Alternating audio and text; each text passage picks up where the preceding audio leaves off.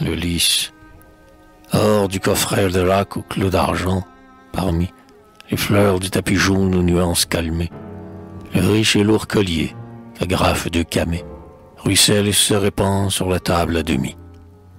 Un oblique rayon latin, l'or a frémi, l'étincelle s'attache aux perles parsemées, et midi darde moins de flèches enflammées sur le dos somptueux d'un reptile endormi.